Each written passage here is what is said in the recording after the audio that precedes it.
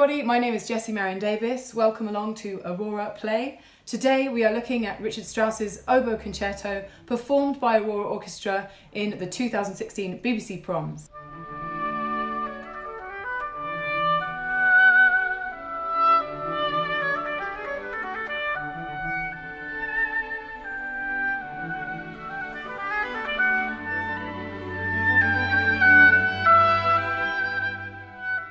Delighted to be joined by Principal Clarinet at Aurora, Timothy Orpen. Welcome, Tim. Tim, there's some incredible writing um, for, for your part throughout this, uh, almost moments where it feels like a duet between you and the soloist. Um, did you enjoy performing this piece and, and what stands out for you about this music? Yeah, it's one of Strauss's great wind pieces. Um, that period of, of, Strauss's life is often referred to as the um, Indian summer. So right at the end of his life. So Strauss was actually 80 when he was um, writing the oboe concerto. Um, so it was written um, just in the aftermath of the um, Second World War. It's got some incredible writing for um, all of the uh, wind instruments, and um, yeah, in, I mean the slow movement in particular is isn't one of my absolute favourite moments.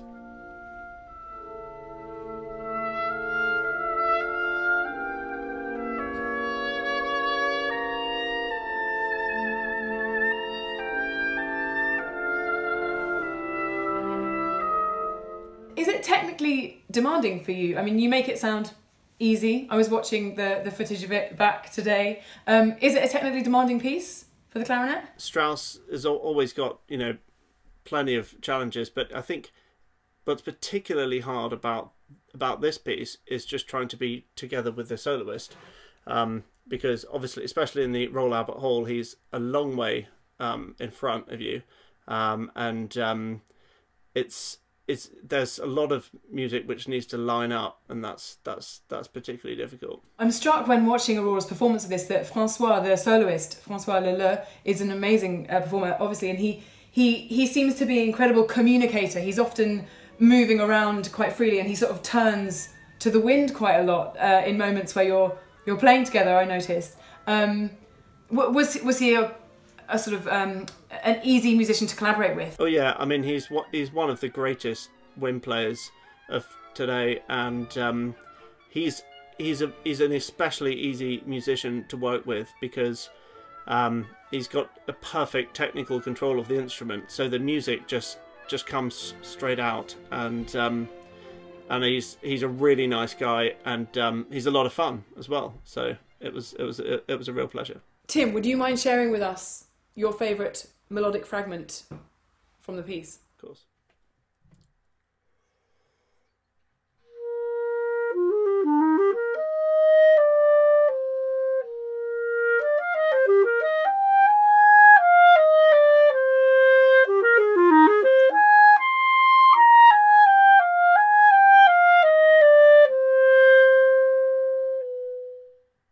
Thank you so much. What movement was that from, Tim?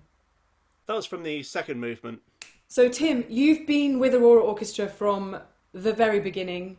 Um, what a journey it has been. Uh, could you tell us some of your sort of top memories? Yeah, no, I was one of the founder members. With, um, in fact, um, Nick uh, Nick Collon and I were um, roommates in the National Youth Orchestra, um, and I think I think that that's something that is that has definitely um, changed the atmosphere of of the orchestra because um, you really get a sense that your friends and colleagues, um, you that you've grown up together. Everyone is there because they want to be there. It's, it's very different from a maestro coming in because Nick, uh, obviously, he, he you know he feels like you know one of the players.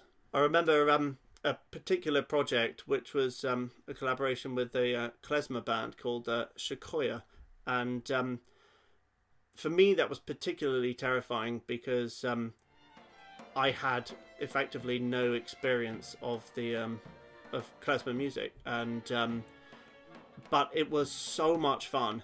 It really pushed me out of my comfort zone. Um, sorry, that was and to employ a cliche, but um, it was it was just it was the, the the concert. I will certainly never forget. There was an extended um, improvisation uh, a free improvisation for um, myself and the uh, klezmer clarinet player Susie Evans, um, and um, it was a it was a, a wonderful wonderful moment.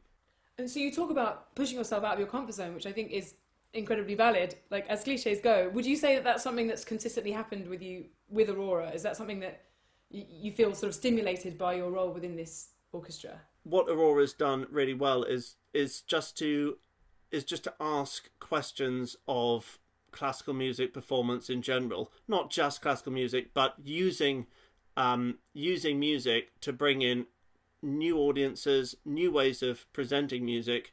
Um, I mean, I remember initially when the memorized projects were uh, proposed, there was a lot of almost hostility from um, some areas of the um, of the established classical music world, um, and um, but I think the question is more why not? Why wouldn't you play from memory? Um, more rehearsal time, uh, more time spent with with the piece and the connection with with the um, with the with the um, colleagues, um, and it's about the the uh, product. And I think people who have been to the concerts, been to the memorized projects, um, I think they can see that that that, that it is bringing something new um, to these established pieces which we've um, which people have been playing many many, many times before. Another memory of mine is um, certainly the um, uh, Beethoven Pastoral Symphony, which um, some people will have seen um, on YouTube now, and the clarinet extracts in that are performed very often in auditions, and having played it now from memory in the orchestra, I have to say that that the feeling of those particular extracts was um, was completely um, minimal compared to the actual uh, um, focus of um, learning the entire piece from memory. Would you say that that practice of committing entire symphonies to memory has informed your your work as a musician? Has it given you something? Do you think? I've never experienced an atmosphere quite like before going on stage for a memorized prom. I think that the um I mean clearly many people are terrified, but once the music starts, it really takes over. And there's no other way of justifying the the amount of um re- of re- rehearsal time and how committing it is for every person and you know that everyone is there because they because they want to be there. They've spent hours and hours and hours with that particular piece, and I think that um, in a way, playing from memory, it's just a tool to allow all of those things to happen. I don't mind whether the music's there or not. I think it's about it's about the feeling that the audience gets. And I do think that there's something about the process of memorizing and the rehearsal process that does change that. Tim, thank you so much for joining me today and, and sharing your experiences and, and, memories of performing this really special piece of music. Um, folks, you can watch it if you follow along the link at the end of this video. If you want to get a bit further under the skin of the music, there is also a join in with Jessie hashtag dance that I have created. I'd say that dance is quite a strong word for what it is, but it's sort of a movement and storytelling piece inspired by some of the melodic fragments of the first movement of Strauss's Oboe Concerto really good for, for young children, but absolutely open to anyone who wants to have a go. So you can watch along. There'll be a link at the end of this if you would like to to join in with that. Um, again, thank you so much, Tim, for joining me. Um, see you soon. Thank you.